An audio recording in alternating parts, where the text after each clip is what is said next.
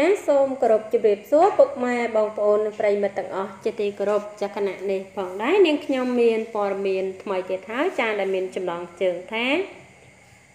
ក្តៅក្តៅពេជ្រសភាចេញមុខទំលាយរឿងនាងនិងឆឹមសក្តាចែកផ្លូវគ្នាចាប៉ិតមែនហើយមហាជននរណានរណាក៏ហាក់ងើយឆ្ងល់ជាខ្លាំង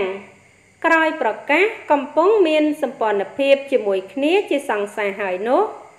រហូតដល់ពេលនេះតារាចម្រៀងពេជ្រសុភាហាក់មិនទាន់មានដំណឹងល្អប្រកាសនឹងចូលរោងការនៅពេលណាមួយច្បាស់លាស់នៅឡើយទេចាស់យ៉ាងណាមិញក្នុងនោះហ្វេនហ្វេនធ្លាប់តែគិតថានេះប្រហែលដោយសារតែតារាស្រីពេជ្រសុភា មិនទាន់ចង់រៀបការព្រោះនៅចង់បំពេញការងារសិល្បៈច្រើនជាង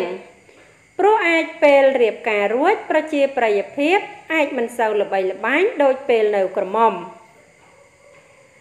ផ្ទុយទៅវិញក្នុងការឡាយពេលថ្មីថ្មីនេះរូបនាងហាក់បង្ហើបតម្រុយមិនព្រមព្រៀងរៀបការ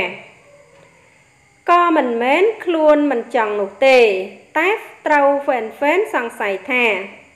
ដោយសារតែខាងប្រុសហាក់មិនសូវអើពើរឿងរៀបការ មិនច្បាស់លាស់ជាមួយរូបនាង ដោយក្នុងនោះរូបនាងសង្កត់ធ្ងន់យ៉ាងដូចនេះថាតើមនុស្សស្រីណា មិនចង់មានភាពច្បាស់លាស់នោះតើហ្វេនហ្វេនចង់ឃើញខ្លួនអាយុ50ឆ្នាំស្លៀករ៉ូប្រៀបការតើមែនទេ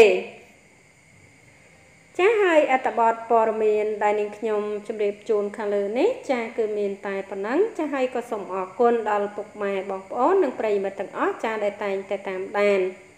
និងគ្រប់គ្រងនៅ Channel របស់នាងខ្ញុំជារៀងរហូតមកចាហើយសូមបងប្អូនកុំភ្លេចជួយចុច Subscribe និងរូបកណ្ដឹងម្នាក់មួយផងដើម្បីទទួលបាននូវព័ត៌មានថ្មីៗជាបន្តទៀតចាសូមអរគុណសូមជម្រាបលា